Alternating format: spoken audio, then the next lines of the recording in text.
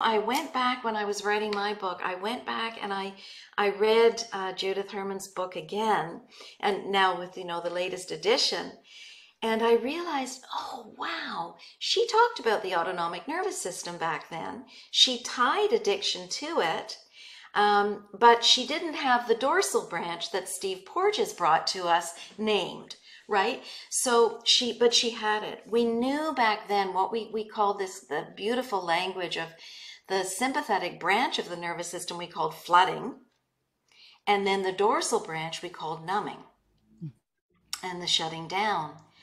And it was that's where I knew it was through that system of the autonomic nervous system. We didn't talk about that then, but Judith Herman did because she was an MD, so she was trained and she in that aspect of the autonomic nervous system, right? Mm-hmm. So she she could she recognized it. Yeah, just didn't have the language that we have today.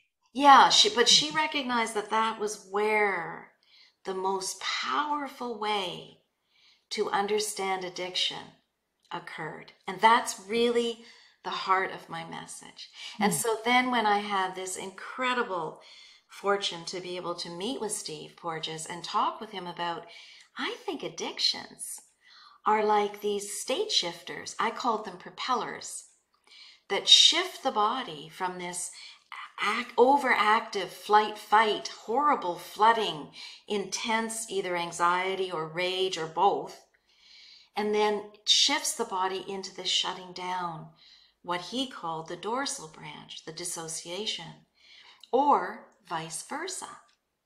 And he said, Yeah, I've always thought about addictions as state regulation strategies. I was like, Yes, okay, this is now really starting to make sense.